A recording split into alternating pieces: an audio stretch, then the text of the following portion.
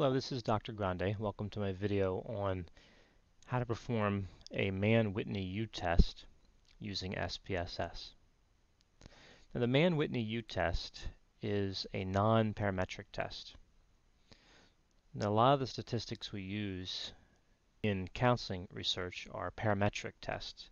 For example, uh, the ANOVA is a parametric test.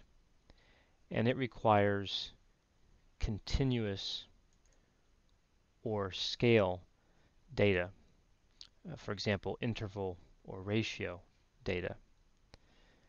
A non-parametric test allows you to perform similar calculations using ordinal data or a mixture of ordinal and continuous data. So I have here an SPSS data set with some fictitious data. You can see in the, the first variable is ID, and there's uh, 90 participants in this uh, study. And you can see the next variable is group. You have a control group for 45 of the participants and a cognitive behavioral therapy group for the other 45. And then you have a pretest score and a post-test score. So let's assume that this uh, instrument is the same. The pretest and post-test instrument uh, is the same. The scores come from the same instrument and it measures uh, depression and a low score represents uh, less severe symptoms of depression and a high score represents more severe symptoms of depression. And let's assume we want to uh, test if there's a difference between the control group and the CBT group uh, on the pretest and on the post-test using the Mann-Whitney U-test. So go to uh, Analyze, and then to Non-Parametric Tests. And there are a few ways to uh, run non-parametrics in SPSS. Uh, I'm going to show you uh, this way first. So this would be a way to run the Mann-Whitney U. You can see down here it's checked off, Mann-Whitney U. And for the test variable list, this is the same as the dependence, right? So that'd be pre-test and post-test. And of course your grouping variable will be group. And then you can see it has these question marks here in the parentheses, and it's asking you to define the groups. Now I've defined the control group as value of 1, and the CBT group as a value of 2. And of course in options you have a few options. We'll have this descriptive statistics displayed. And click OK. And you can see the descriptives. Uh, to start with, we have the 90 participants in the pre-test and post-test. It gives you the mean, the standard deviation, and the minimum and maximum values. And then you can see the ranks here for the control and CBT for the pretest and the control and CBT for the post-test. And you can see there's a little difference here and a, and a greater difference down here with the post-test. And then for the test statistic itself, you have the uh, Mann-Whitney U. Uh, we're interested in the significance down here. So for the pretest, there was no statistically significant difference between the control group and the CBT group, but for the post-test, uh, there there was 0.012. That's a, that represents a statistically significant difference between the control group and the CBT group. In regard to the Mann-Whitney U test uh, compared to the Kruskal-Wallis test, I want to show you uh, something interesting. The Kruskal-Wallis test is the non-parametric equivalent of one-way ANOVA. Now you remember these values, 0.756 and 0.012. So I'm going to go back uh, to analyze a non-parametric and I'm going to run a Kruskal-Wallis H test. And I'm going to set the variables up in the same way and define the grouping variable in the same manner. So set up exactly the same, except the Kruskal-Wallis H-test instead of the Mann-Whitney U. And you can see that the significance values are identical. Uh, the difference with the Kruskal-Wallis test is that it can handle more than two levels of the independent variable. So if I go back here to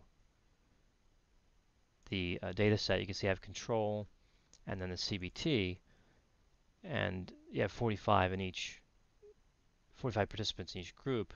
But say that you had uh, 30 participants in control, and then 30 in CBT, and then say uh, down here 30 in uh, like existential therapy, for example, uh, the Kruskal-Wallis H test could analyze that data. So now I'm going to show you another method to run the Mann-Whitney U-test. Uh, if you click Analyze and go to Non-Parametric Tests and select Independent Samples, you're going to see this dialog appear that does not look the same as the dialogues uh, typically appear in SPSS. Uh, this objective tab, uh, skip this and go to Fields. And the test fields, you want to move over the uh, pre-test and post-test. And the group, you want to move that to groups, the groups field. And then move to settings and see the default, you can see it's automatically choose the test, but uh, go ahead and click customize test and select the Mann-Whitney U.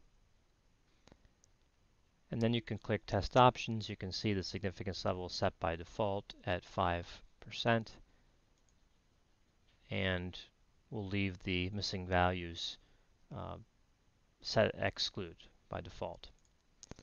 And then you'll click Run down here.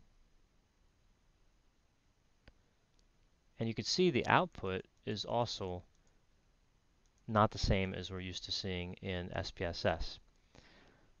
So you have the, uh, it states the null hypothesis, the distribution of pretest is the same across the categories of group. And of course, the null hypothesis down here is the distribution of post-test is the same across the categories of group. And you can see the same values appear. It, it's just the way it's displayed is uh, not the same. If you double click this,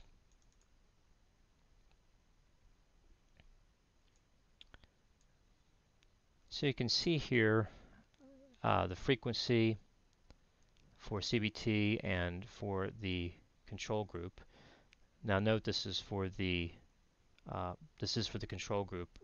I have it selected over here. If I selected uh, the CBT group, it would switch. So let's stay with the control group. We can see uh, the frequencies are fairly similar. So this makes sense that the null hypothesis would be retained. And you can see the value of the Mann-Whitney U test statistic which you'll need for reporting, and of course the significance level. And there's a few other options that you may want to use. Uh, you can see categorical field information, which of course you already know the sample size and the group size. Uh, and then continuous field information is available as well. So if we move to the CBT group, uh, where we're going to reject the null hypothesis because the significant level, the significance level is below 0.05. And you look at this uh, frequency, you can see that it is quite different.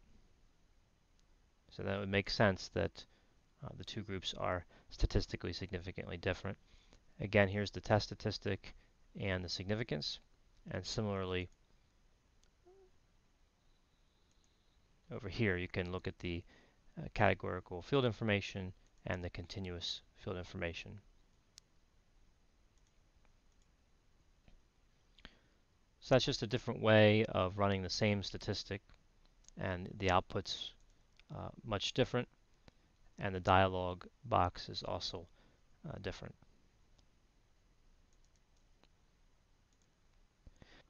I hope you found this video on the Mann-Whitney U-test helpful. As always, if you have any questions or concerns, feel free to contact me, and I'll be happy to assist you.